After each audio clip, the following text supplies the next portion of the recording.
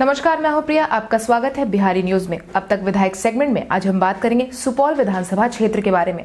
सुपौल विधानसभा क्षेत्र के मौजूदा विधायक विजेंद्र प्रसाद यादव है। 2015 में हुए चुनाव में जदयू के टिकट से विजेंद्र प्रसाद यादव चुनावी मैदान में आए और बयासी वोट से जीत दर्ज की। वहीं किशोर कुमार भी इस चुनावी मैदान में कांग्रेस के टिकट से उतरे थे, लेकिन वे तकरीबन आधे वोटों से हार गए। किशोर कुमार ने इस चुनाव में चौवालीस वोट हासिल किए थे।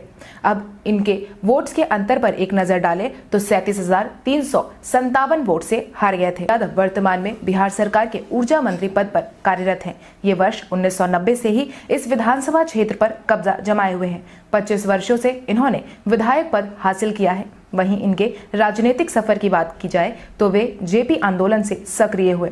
वहीं हम विकास कार्यों की बात करें तो मूलभूत आवश्यकताओं की पूर्ति किए जाने की तरफ़ कदम बढ़ाया गया है। विकास कार्य हुए हैं घरों में बिजलियाँ पहुँची है, सड़कों का निर्माण हुआ है पुल पुलिया का भी निर्माण हुआ है, लोगों का जुड़ाव बढ़ा है। सड़क के मामले में जो विकास हुआ है, उसे जनता सराहनीय मानती है। सुपौल ज़िले के पाँच विधानसभा सीटों पर यह विधानसभा सीट बेहद अहम है। सदर प्रखंड और मरौना प्रखंड इस विधानसभा क्षेत्र में सम्मिलित है।